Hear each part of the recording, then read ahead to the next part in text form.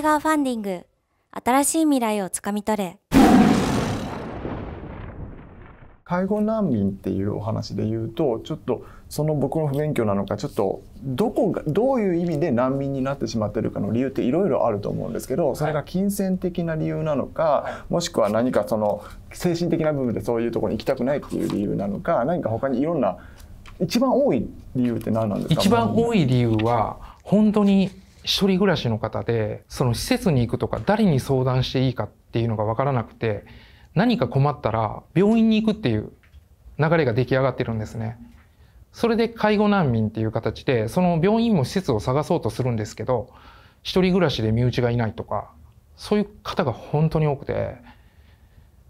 あのそういう方を指すと思ってます。なるほど、はい、なぜ聞いたかというと磯湯株式会社代表磯湯慎介。西日本を拠点にアウトレットショップ半額倉庫を展開。店内商品全て半額という斬新なアイディアとウェブ戦略でわずか数ヶ月のうちにメディア SNS でその名を轟かせる。業界に新たな一手を繰り出す新古品ビジネスの虎が志願者の真なる価値を見抜く。結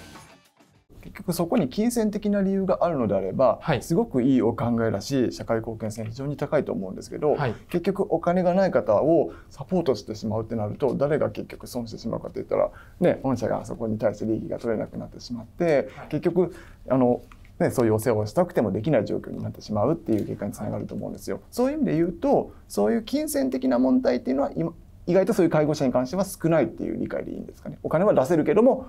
頼みどころが分かんない多いです。お金がないっていう方も、はいはい、お金がない方はここには入れないっていう。生活保護の申請をしていただいて。そのお金をそちらに払ってという、はい、なるほど分かりました。すごく素晴らしい活動をされてると思いますしすごい喜ばれるだろうなって思うんですけど他の方に教えてそのコンサル料をもらえるほどのノウハウなんですかね？その相談をできるっていうのを本当に知らなくて介護のデイサービスとかでもその施設に対して施設からコンサル料もらうんですよね？そうです。その施設にやり方を教えたら、はい、あそうやればいいんだあざすって感じじゃないですか？いやそれはないと思います。おじゃあそこなんかノウハウがあるんですか？ずっと相談乗ってあげないとできないことなんですか？ずっと相談に乗り続けないとできない理由っていうのは、はいやっぱりその大家さんとかその介護のこととかってその本当にデイサービスって基本的にその通所介護なんでそこに来てる時だけ介護すればいいっていうイメージなんですよ。でそれをえっと保険外でまあその利用者さんからお金をいただくことによってその保険外の内容がえっと配食ご飯を食べることであったりとか夜間の見回りすることであったりとか他にもそのオンコール体制であったりとかっていうことにはなるんですけどそこまでしようとするデイサービスが正直ないんですよ。はい。それでこういうふうにしたらいいよこういうふうにしたらいいよっていう形であの相談を乗っていこうと思ってるのとあとさっき見せたあの介護難民ゼロプロジェクトっていうその本当に相談ができる場所っていうのをいろんなところにこう作っていってあのすればみんなが助かるんじゃないかなって思っております。はい、それでいくらもらいますか？一施設から月々。一施設18万円。18万円、はい、でじゃあ18万円もらってそれに対してその施設はどのくらい儲かると思いますか？介護保険を含めてまあその人数の規模にもよるんですけど例えば15人規模で介護保険も含めて1か月650万ぐらい。じゃあその相談乗ったことによって650万売り上げ上がると、はい、18万円の相談で。はい。なるほどね。それが本当だったらすごいですね。それが本当だということをうまく僕たちをこれからの時間で説得してください。そんな18万円払ったら650万売り上げ上がるなんて。そんな僕デイサービスひら始めますよこれ、は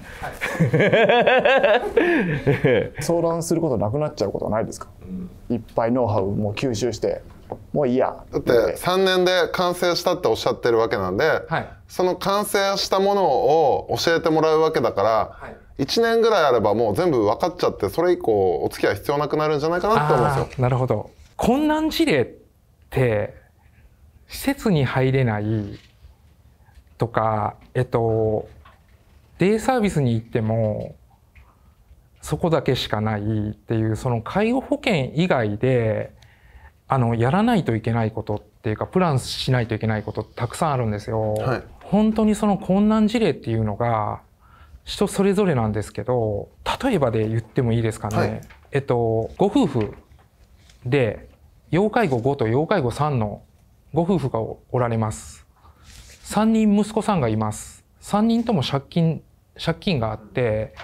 えっと、施設の保証人なんかは到底なれません。で、経済的にも苦しい状態です。施設に入れてくださいっていう案件が結構来るんですよ。その時に、その、経済的に苦しい人って、あ、もう、うちは対象外だからっていう、そういう施設がすごい多いんですよ。そういう困難事例っていうのを、あの、本当に解決してきたと自分で思ってるんです。はい。なんでこういう困難事例がうちだけでもう本当に断っただけでも60件ぐらいあるんですよ。じゃあなんかこういろんなパターンに対してマニュアルがあるっていうよりはケースバイケースでアドバイスしてくれたり助けてくれるっていうサービスってことですか？そうです。はい。これ岡本さん。税理士法人レディング代表木下隼人。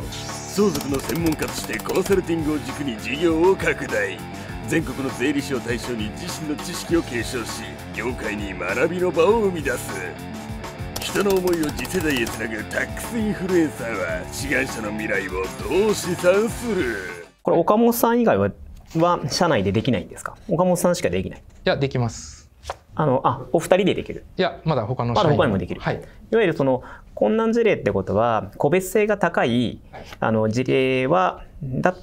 他のところだとできないんでうちに相談してくれたらちゃんと全部できるよっていうことで毎回毎回ずっと貼り付きでやらなきゃいけないってイメージでいいんですか？貼り付きではないんですけど、はい、自分の思いつきで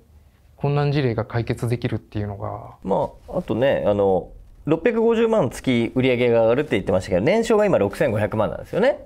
で利益が50万から70万っていうことですよね。なのっていうことは、はい、コンサルした先が、まあ、年商6500万になるけれども月の利益が50万とか70万ってことですよね。そうですね。で、実際に18万もらうってことは、はい、まあ約20万だとかげたら30万から50万ぐらい儲かるってことですよね。はい、そういうことですね。そうです。うん。まあ、そんくらいだったらあるかもしれないですね。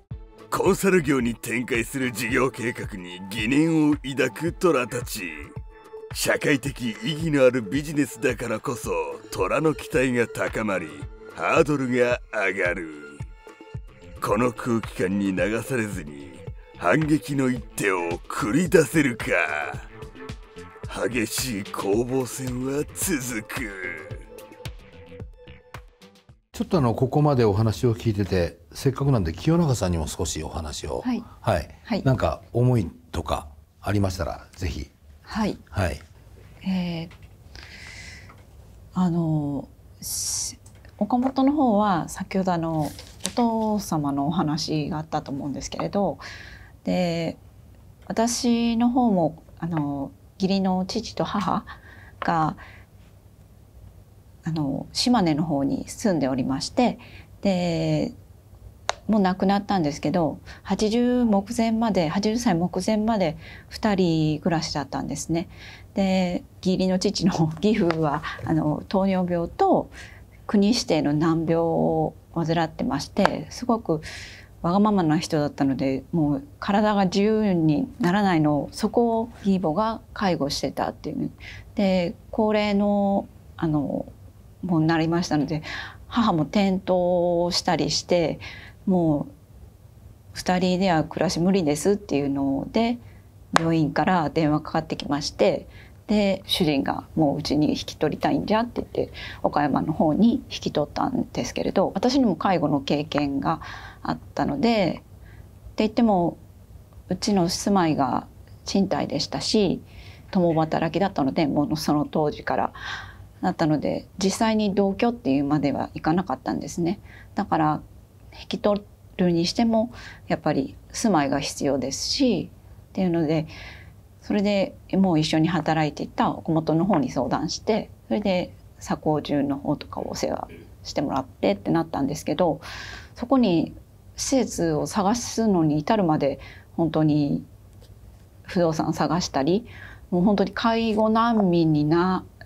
なってたかもしれないっていうような目前の状態まで行ってたので高齢者に対してもその家族に対しても社会というか世間の風当たりが強いなっていうのを自分で感じていて今回こういう私たちの我が社の会社がやってる不動産も一緒に立ち上げようかっていうのはすごく家族の立場から言ってもありがたいなっていうのが。で介護って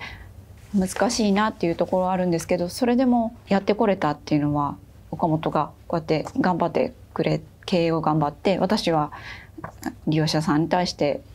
お世話したりするのを頑張ってっていう感じでもう2人でやってきてスタッフもそれでついてきてくれたっていうのでなので、うん、このやはり思い思いが広がってくれたらなっていうのを思ってます。なんかこの事業で一番助けるべき人たちって僕もあの島根に一回実は実家でおじいちゃんとおばあちゃんいるんですけどおじいちゃんあのもう今亡くなってるんですけど寝たきりのおじいちゃんあ親戚のおじいちゃんがいてでそれを介護してるのももうちょっと時報になっちゃってるおばあちゃんが介護してるみたいな状況があって本当にもうそれを僕もあのできる限りその見てあげたいんだけどやっぱり仕事もありながら見れないっていう状況があったりで本当にあの身寄りのない状況っていうのはあると思うんですね。でそういう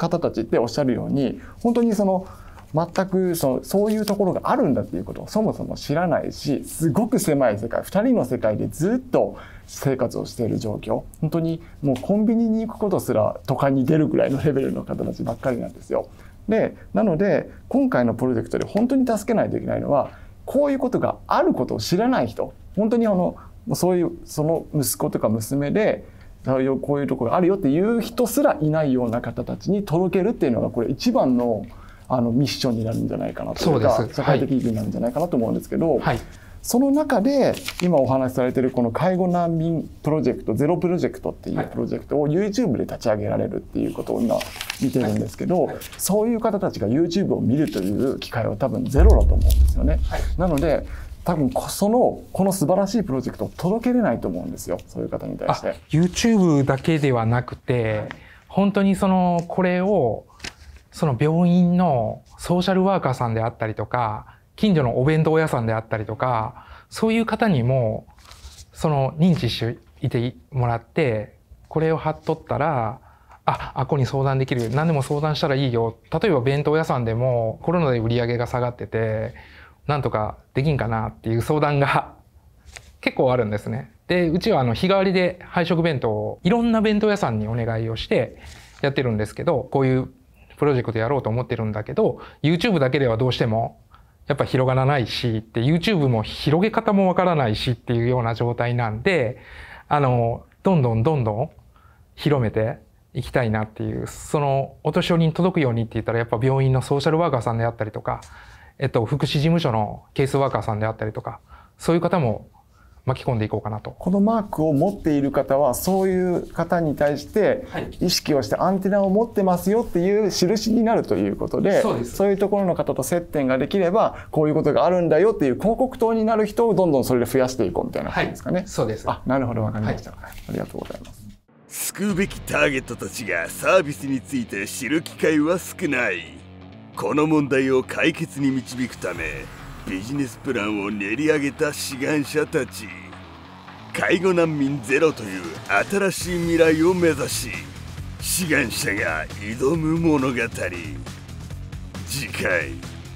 オール・はナッシングを決する最後の戦いを見逃すな。300万しか上がんなかったら30万ぐらいしか利益上がんなくないですか？